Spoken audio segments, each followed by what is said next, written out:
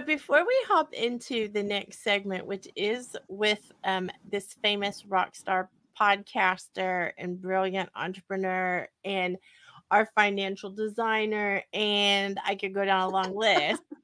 Before we start that convo, Kerry, we just want to acknowledge that we believe in being living proof around here.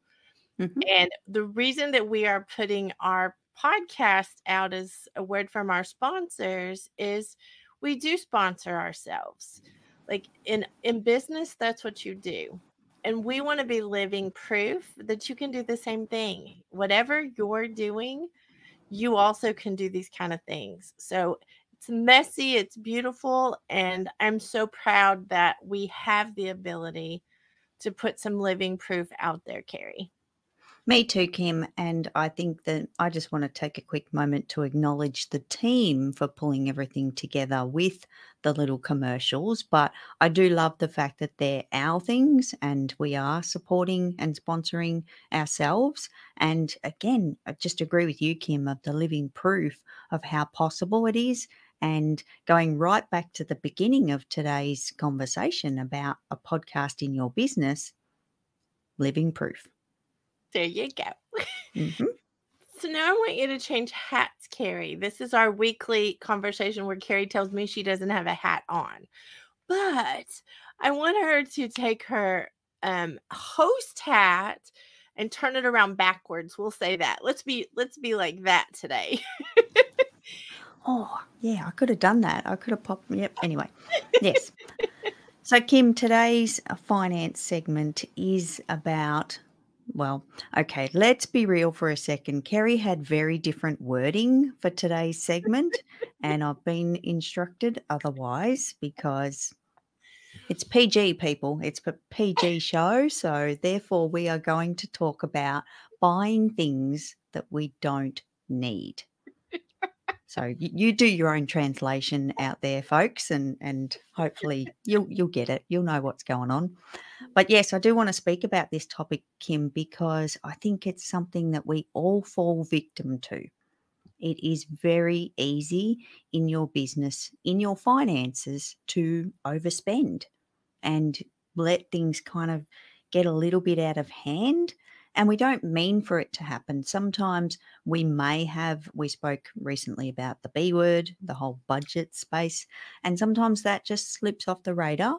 And other times it's because we just like to play a little bit. What's the word, Kim? We're, we're daredevils, I think, oh, sometimes. Yeah, we like to push the boundaries, you know, and sometimes that means, well, I need this thing, I'm buying this thing, or I want this thing, I'm buying this thing. I own a business, people. It's my money, it's my choice. So I am going to press that button.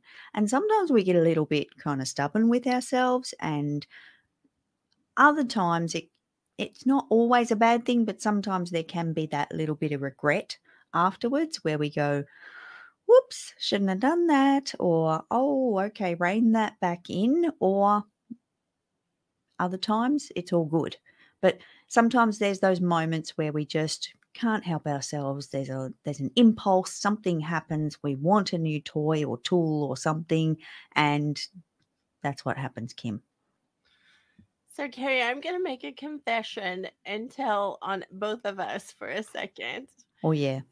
Because we can say this to y'all, because we've done this. Like that's what qualifies us. It's not that we're perfect and we can preach it, y'all. It's that we've done this and we want you to know you don't have to. Like you can literally slow your roll and and not push those buttons. Kerry, one of the ways that you helped me recognize where I was pushing buttons and I shouldn't have been was the things that I was getting for trial you know, you get a free trial and then they'll charge your credit card. I wasn't remembering that they were going to charge my credit card. And so I ended up with all of these subscriptions to all these things that I didn't use. I didn't actually even want anymore. I didn't any of that. Can you speak to that really quickly because I know you have a gift for everybody in in being able to cure that ill. Well, Kim, and I'm going to tell on us a step further because um, simple subscriptions for both of us has gone whole next level. Like we literally now quiver over pressing those buttons to the point where we stop ourselves because we've done the work, we've gone through simple subscriptions and identified money that we were spending that we'd forgotten about, both of us. I'm as guilty as the next person. And that's where this tool came from was me actually wanting to know, okay, I know I'm you know, got all these bits of money going out and going out to all these different companies, and I am using all of these tools. But what was the number? I couldn't answer the question, Kim. And I live in that space. I play with numbers all the time and I didn't have the answer. And I knew there were savings to be had, but I needed to go through the process, list them all out and and catch them, you know, see what what buttons I had pressed in the past and what was coming through my bank statement.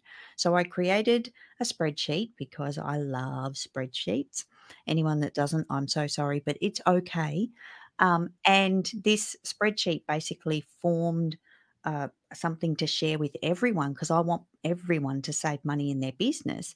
And you can fill out simple subscriptions. You can list all of those recurring payments that you have in your business, and you can start to make a bit of a tally.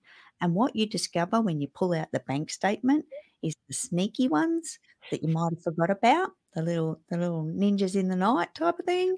And you can actually find huge savings in your business because you can go through the steps on simple subscriptions, cancel them, and get rid of those charges out of your bank account. And it's it's amazing. And Kim, can I tell the total? Oh, please, Kerry, please.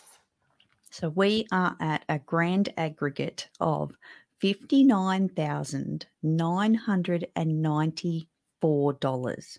So for anyone out there that has used this tool and has a $6 saving, please send me a message because that will round us up to $60,000 and that's that's incredible. Such a such a great number for everyone. For those that have, have gone through and people are still work in progress. Don't get me wrong. It's not an overnight journey. You can take your time and those that are still in progress, I'm I'm waiting, Kim. I'm sure I'm going to get a message probably in the next 24 hours of someone telling me, yes, I've saved this, I've cancelled it, I've pressed the button, and and here you go. Well, and I want to say for the record, this is something Kerry gives away because it helped us so much. She she gives it away. You can go to her website and get it. It's no secret. Like it, it's there's nothing Kerry has that she knows your numbers if you don't tell her. A lot of people have gone through it and haven't told you their numbers. Yeah. So this is only the numbers we know for sure that people have sent over to you. So that's a pretty amazing because we haven't even hit the one year mark, Kerry, for this tool being out there. I know. I know. That's so exciting. And Kim, I'm going to actually steal a phrase from our friend Donna Bender and say, it is yours free. There are no strings attached. It is completely free. You get your own copy. I don't see it. I don't get the information. It's private to you because I do believe in privacy in your finances. And therefore, you can just fill it out, jot down the numbers, and start to save some money. So, Kerry, you always help us with the digits. Like I am so happy that we always have help from you with the digits. Kerry is our financial designer. She's not joking.